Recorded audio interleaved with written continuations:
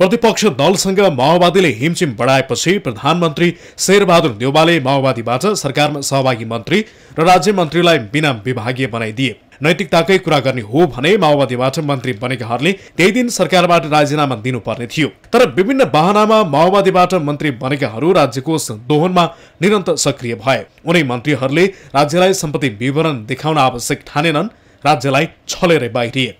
सम्पत्ति विवरण नबुझाउने माओवादीका राज्य मन्त्रीहरू मोहम्मद जाकिर हुसेन तत्कालीन महिला बालबालिका तथा समाज कल्याण राज्य मन्त्री राम सिंह यादव तत्कालीन स्वास्थ्य राज्य मन्त्री श्यामकुमार श्रेष्ठ तत्कालीन गृह राज्य मन्त्री छमबहादुर गुरुङ तत्कालीन सहरी विकास राज्य मन्त्री त्यसो त सम्पत्ति विवरण नबुझाउनेमा माओवादी मन्त्रीहरू मात्र होइनन्। अन्य पार्टीबाट मन्त्री बनेकाहरूले समेत सम्पत्ति विवरण बुझाएका छैनन्। वर्तमान सरकारमा रापरपा अध्यक्ष कमल थापा उप प्रधानमन्त्री छन्।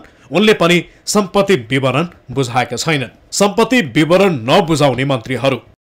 कमल थापा उप प्रधानमन्त्री दीपक बोहरा स्वास्थ्य मन्त्री। सुनिल बहादुर थापा उद्योग मन्त्री।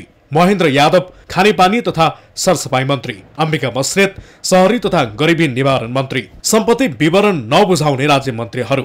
कुन्ती कुमारी साई सीता गुरुङ अब्दुल रजाक गति तत्वबहादुर विष्ट दिल्ली बहादुर चौधरी तेजुलाल चौधरी जनकराज चौधरी सुमित्रा थरुणी विराज विष्ट सुशील कुमार श्रेष्ठ। सार्वजनिक पद धारण गरेको जो कसैले सरकारलाई सम्पत्ति विवरण बुझाउनु पर्ने कानुनी प्रावधान छ तर अधिकांश मन्त्रीहरूले सम्पत्ति विवरण बुझाएका छैनन्। तर वर्तमान मन्त्री परिषद विघटनको दिन नजिकिएको छ। मन्त्रीहरूको आचरण हेर्दा शेरबहादुर देउबा नेतृत्वको वर्तमान सरकारमा सहभागी धेरै मन्त्री सम्पत्ति विवरण नबुझाइ विदा हुनेवाला छन्।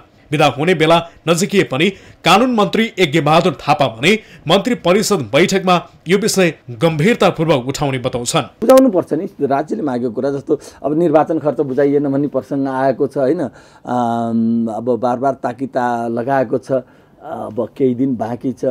अब त्यो पनि बुझाउनुपर्छ सबै सबै पार्टीका सबै उम्मेदवारहरूले भने जस्तै मन्त्रीको त दायित्व जसले कानुनको पालना गरेर कानुनको शासन भनेको छ कानुनलाई कार्यान्वयन गराउने पनि सरकारको दायित्व हो भने त्यो कुरा त गर्नुपर्छ। म आगामी मन्त अब म मैले निर्देश गर्ने त होइन। साथीहरू यो ल न मन्त्री हामीले त सम्पत्ति विवरण सम्पत्ति विवरण होइन सम्पत्ति विवरण आएन भन्ने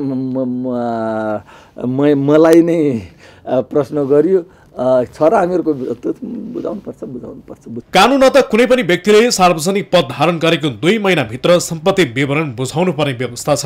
तर वर्तमानका धेरै मन्त्री सम्पत्ति विवरण नै नबुझाइ बाहिरिने निश्चित जस्तै छ। के कानुनको उल्लङ्घन गर्ने छुट मन्त्रीहरूलाई दिइएको छ र न्युज ट्वेन्टी टेलिभिजनका लागि क्यामेरामा अशोक मानन्दरका साथमा टिभी जर्नलिस्ट मनोज पराजुलीको रिपोर्ट।